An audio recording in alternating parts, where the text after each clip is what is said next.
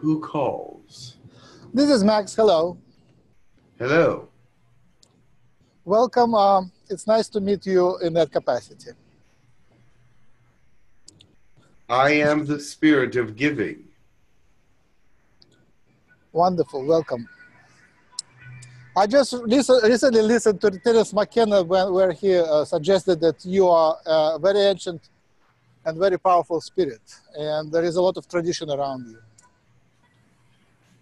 I am someone that has been talked to many times over the decades. Some call me a god, but I am really not. I am the spirit of giving and the spirit of giving out of love that God has created for the world. Wonderful. Uh, can you talk about the colors of yours, like red, white, and other colors which are associated with you? What do they mean? It depends on who uses them. Each individual has their own meaning for the colors that they use. But red is for the fire of God, and green is for health and beauty and calmness. Uh huh. And um,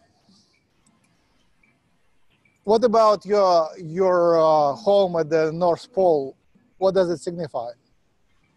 That is something a human made up. Oh, I see. I, see. I do Um, not live on your planet. I The see. spirit of giving moves throughout the universe, doing what I must to bring as much joy and happiness as possible.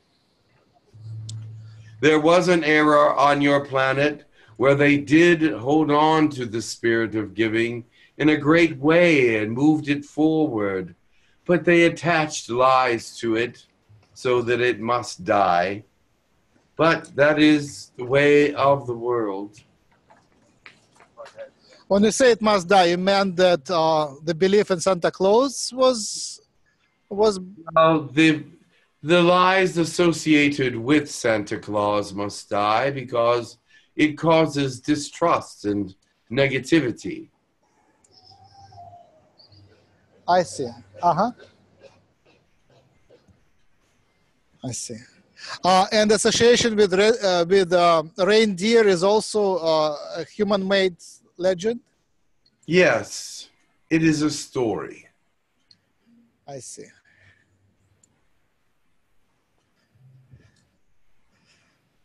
So, are you still work? You are still active on on Earth, right? You're still working, just not through the Santa Claus, or do you work through Santa Claus idea?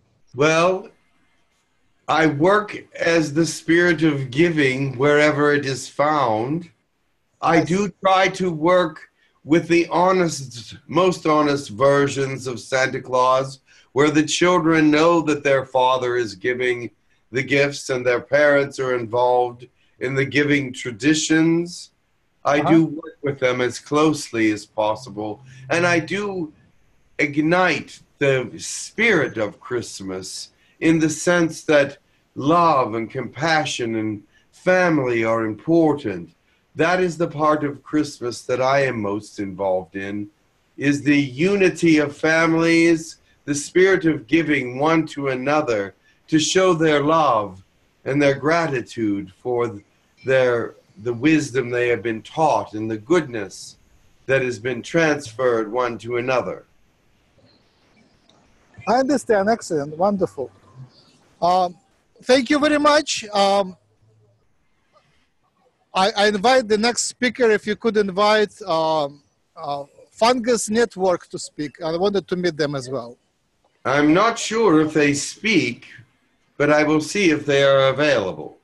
And if they are not, then uh, Terence McKenna would be the next person I would invite. Terence McKenna. Thank you. Very well. Good day, and I hope that the gift of me being here and giving to you, you will share with others. Absolutely. Thank you much. I uh, yeah, when I was a child, I was uh, keen on giving everything to everybody. People were like very surprised. I was like, to me, it was very natural to give things to people. Very good. I like that about you. And I like it that you were freely giving and not caring about getting back. Because the true gift of giving is for to give to others of yourself. Uh huh. Goodbye and much love. Goodbye. Goodbye.